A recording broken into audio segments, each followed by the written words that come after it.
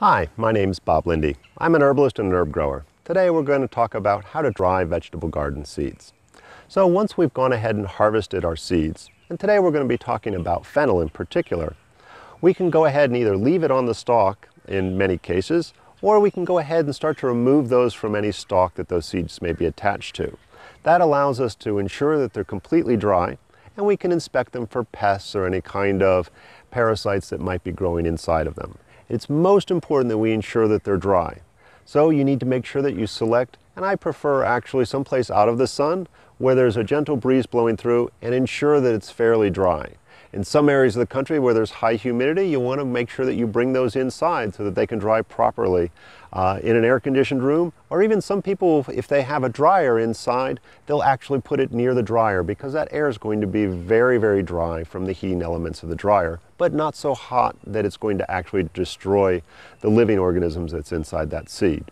So once we go ahead and remove the seeds, we can go ahead and put them in a plate. And I actually prefer something with a white background so that we can see if there's any insects in there, in which case we want to either throw that batch out or find some way to go ahead and get rid of those insects.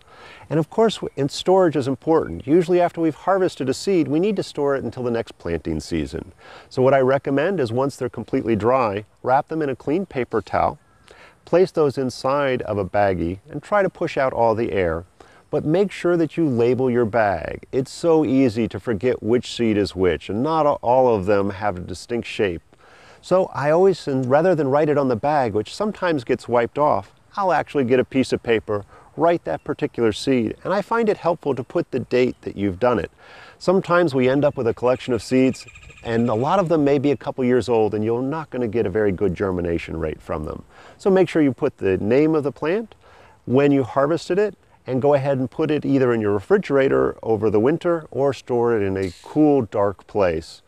And you're going to end up having seeds that you can use after every planting season and you can select the very best seeds from the best plants to ensure you get a continual quality crop of different herbs and vegetables. So this is Bob Linde talking to you about how to dry your herbs.